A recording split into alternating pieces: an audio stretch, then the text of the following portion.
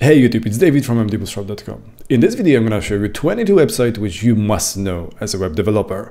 So watch this video till the end and let me know down below in the comments what else should I add to this list and let's build this list together. So you're going to find the link in the description down below to the repository where you can add your proposals and let's build this list together. And now without further ado, let's jump into the list. I have organized the links in a category, so it will be easier for us to browse through them, but obviously there are some pages which are basically somewhere in between. The first category I have for you are blogs, socials and magazines. And I would like to start with a Dev.to. So Dev.to is a kind of a blogging platform for developers where you can create account and start uh, writing your articles. You're gonna find here hundreds of hundreds very valuable articles which might be useful at certain time so definitely you want to read it maybe at certain point of time you might even add something to the community by adding your article on some subject if I ask you which website is most commonly used by web developers, I'm pretty sure that most of you would say it's Stack Overflow and you're probably right. This amazing Q&A platform and even more amazing community proven many times to be safe living solution for many of us. And if you happen to find solution to your very unique issue by some developer added two years back, you know what I'm talking about. Talking about the magazines, one of my favorite one is a Smashing magazine. And it's not only about the web development itself, but you're also gonna find a lot of interesting information about the design or usability. So if you don't know it, check this out. Next on the list, CSS tricks. I'm pretty sure that you've been here, even if you didn't notice that, very often when you try to Google how to do something, you might end up in one of their articles on how to do that thing.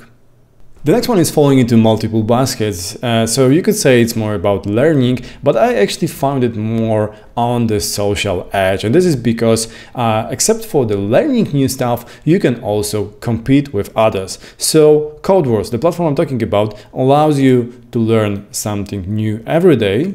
Uh, so as you can see, you're gonna find a task to do here your role is obviously to solve the task, so you can play with it, but except for just solving the task and giving the right answer to it, uh, you're also competing with others because once you solve the task, you're gonna see uh, the other solutions and you're also gonna compete on who solution is actually better, which one is shorter, which is more performing. So if you don't know it, check this out. Next category is docs knowledge and standards. I'm quite sure that you might accidentally end up at MDN website at a certain point of time if you right clicked on something or just press Ctrl and clicked on some command while coding your web app.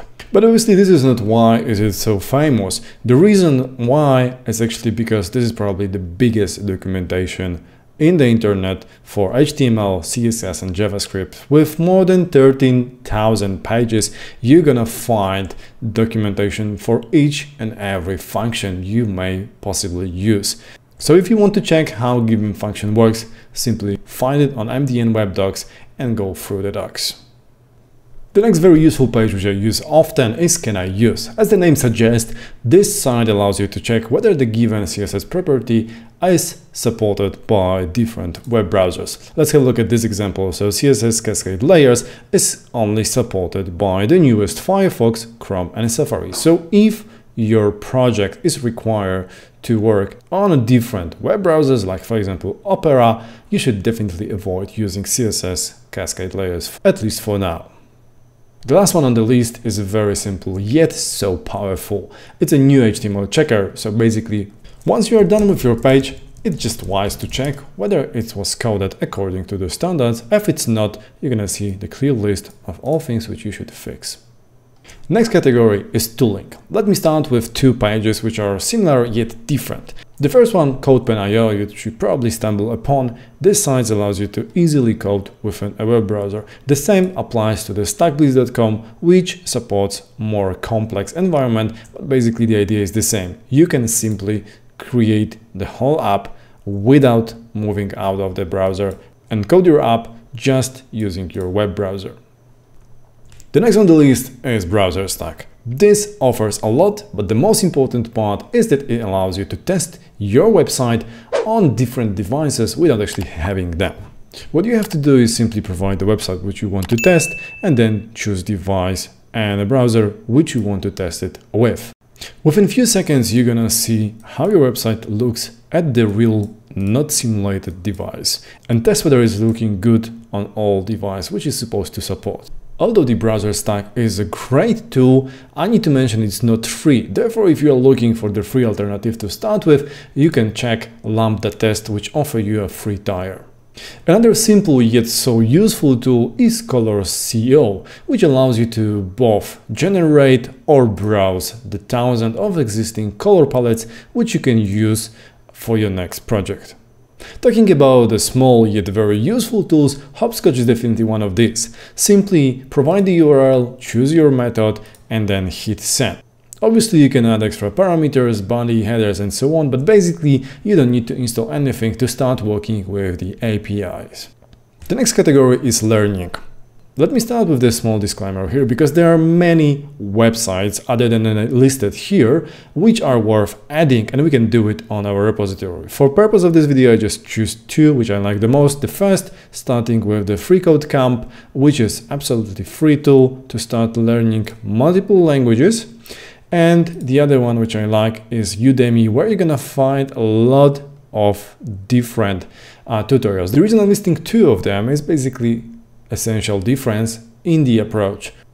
While all the courses which I went through from FreeCodeCamp are really great, they are still coming from the single organization, while Udemy is a marketplace where you're gonna find courses from different authors. So if you want one more over the other, then you can simply stick with the author which you like the most. I need to add that uh, most of the tutorials here are paid. However, very often you can get a really nice discount of the cars and sometimes they are also offering them for free.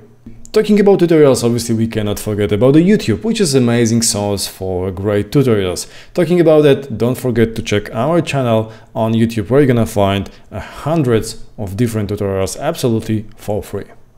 Moving forward, I would like to mention two very specific, but in my opinion, amazing tools. One will let you learn uh, Git one will teach you how to use Git with the old visualization so you could really understand what, for example, Rebase is, and the other, which looks like it was designed probably 20 years back, but still offers you a tremendous amount of knowledge, is sql-ex.ru, which will teach you how to use SQL queries. If you know others, let me know down below in comments or add them directly to our repository.